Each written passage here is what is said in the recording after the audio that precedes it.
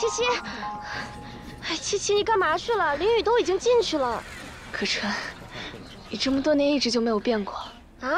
你说什么呢？快点吧，我都急死了。跟你说，老大脸色有点臭。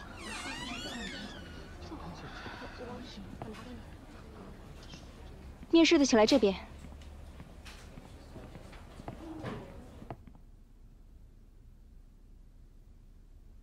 老大，怎么了？说。我和您都等江七七多久了，也不知道她大小姐到底是贵人事忙，还是根本没把您说过的话放在心上。哎，七七，来，就等你了，快坐。好。好了，现在人齐了，我有一件重要的事要宣布。如果没有意外的话。年底公司将会有一项关于我的人事调动，我将会出任集团总经理。恭喜老大升任总经理。嗨，言之尚早，还不一定呢。一定会的。哦，呃，这样，我要是出任了总经理，这个位置就要从你们两个当中选一个。你们各自努力。不要让我失望啊！老大放心。好，散会。你说咱俩也算是有缘分啊，在学校就是竞争对手，现在又是竞争对手，一次升职罢了，没什么可竞争的。江七七，你的意思是，我连做你对手的资格都没有吗？你这么说，倒是显得我狭隘了。我只是觉得这件事根本就不算什么。不算什么。你不想要总监的位置？认识你这么长时间，我想要什么你抢什么。怎么，今天又演的哪一出啊？你不累啊？是挺累的，不过我是替你累。我从来就没有想过要抢你的东西。走了。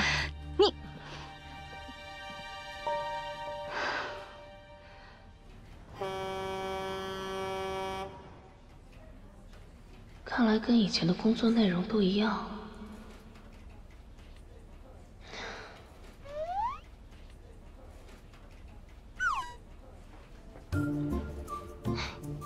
七七，咱们组好像又来新人了。听说还是通过李总直接招进来的，好像有点来头。不管什么来历，只要有工作能力，一切都不是问题。我现在理解了很多事，也比以前宽容了很多。这倒也是，我怎么感觉我突然不认识你了？这才过几天，想法变得这么快，这还是我们家七七吗？行了，新人呢，叫进来吧。啊，过来吧，认识一下我们的组长。星辰，这就是我们的组长江七七。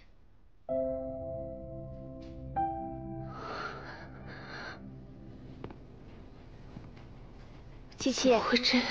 这就是顾星辰。七七组长你好，我叫顾星辰。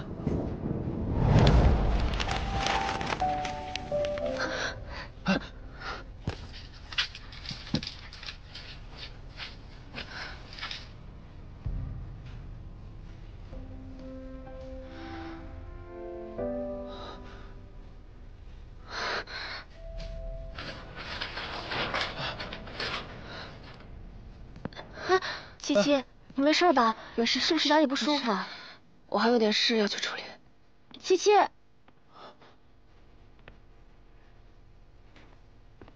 这就是你的工位了，以后有什么需要你再来找我。嗨，你好啊。大家好，我是顾星辰。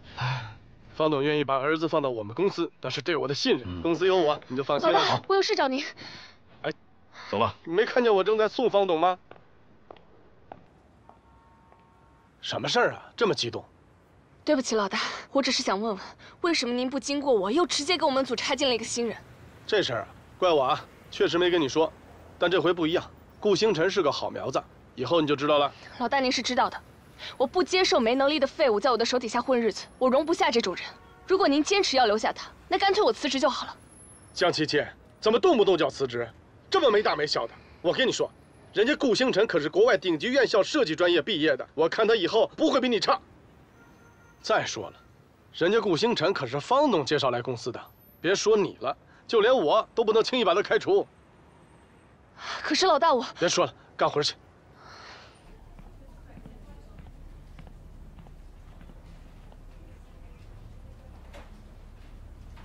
明明我们已经没有交集了，你慢点。到底是哪里出了错？不用，你放开。哎，哎，我说了不用你扶。哦，你能不能轻点？我是伤员。大姐，你这么矫情，一定没男人爱。你还好意思说呢？如果不是你，我能成现在这副德行吗？我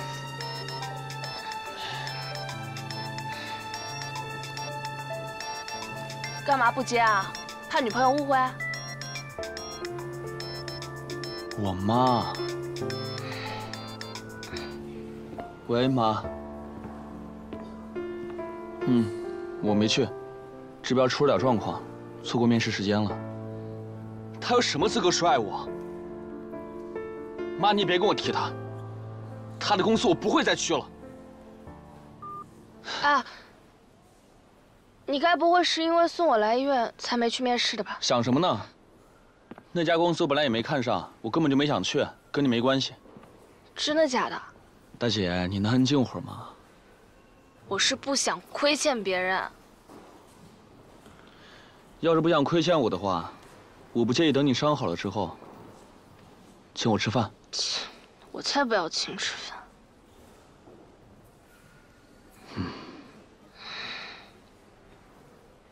啊，手机。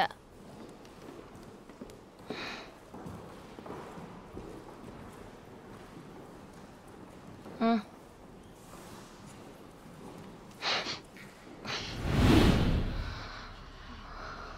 难道一切都是天意吗？嗯。啊，组长。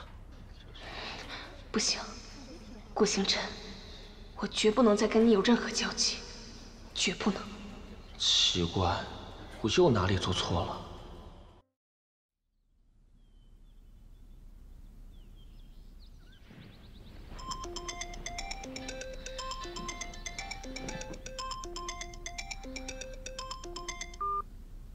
么还是二零一六年啊？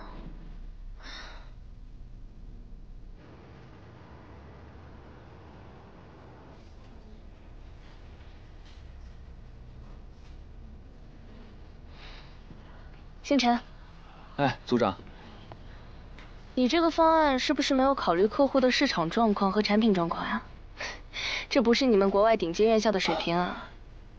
组长，我的设计是希望可以打破传统思维，从抽。我知道你融入新环境需要时间，你把这个项目的设计需求都好好看看，三天内给我五个不同的策划方案。三天。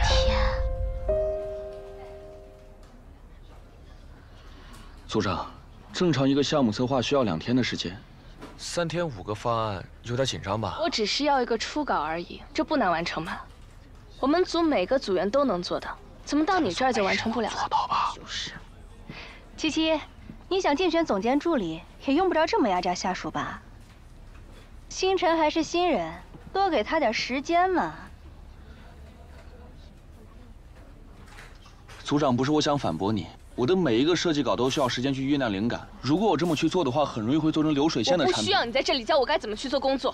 我们组讲究的是效率，干不了就自己辞职走人。三天就三天。